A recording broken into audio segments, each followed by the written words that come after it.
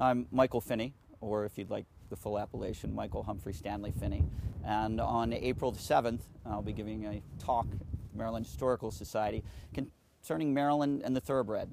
The state has always had uh, a sublime affinity for the beast.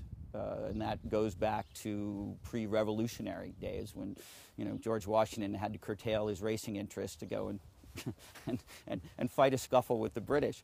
Uh, horse racing in Maryland, uh, fox hunting in Maryland, uh, they all, steeplechasing in Maryland, go back as far as they possibly can in this country. If you were going to consider Academy Awards for racing, there's no question that Kentucky is always going to get best leading man. But for years, there would have been, it would have been equally obvious that Maryland would get the best supporting actor role. Leaving out the Chesapeake Bay and crabs, there is the quickest association that anybody makes with the state of Maryland is the Preakness, is horses, or the Maryland Hunt Cup, or fox hunting, uh, depending on which group you're talking to. But really, the Preakness is almost emblematic of Maryland. I think the odds that Pimlico will be here in five years are very good. Uh, change is not something that uh, comes easily to the horse business.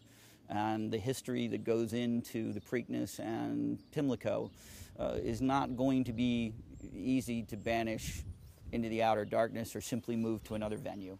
Uh, I think it's too important, and I think when people get to the brink of that, they'll realize it's too important. When considering the current state of Maryland flat racing, uh, you could put it, if you wanted to give it a simple description, you could call it a perfect storm, if you will. Uh, the economic climate that currently prevails, which led to dif difficulties with Magna Entertainment, which is now the owner of the Maryland Jockey Club, the loss of connection or affinity of the general public for the beast itself, for the sport itself, the fact that the surrounding states, particularly West Virginia and Delaware, were far ahead of Maryland in terms of getting legislation for slots in order to subsidize the purses. Maryland is a little late getting to the game now. People in Maryland may not understand the global ramifications of some of these local thoroughbred events, meetings, the Maryland Hunt Cup. Uh, people take it, people love to go to the Hunt Cup. They think of it as much as a, as a party, as a race. Whereas in the entire world, the Maryland Hunt Cup is one of the two most important steeplechase races run.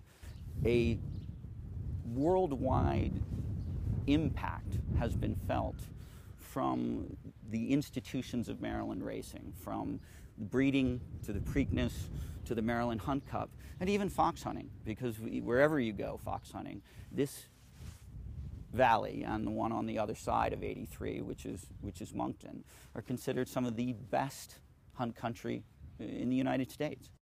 I'd encourage everybody uh, to join us on April the 7th, whether you're a horse buff or whether you're a history buff.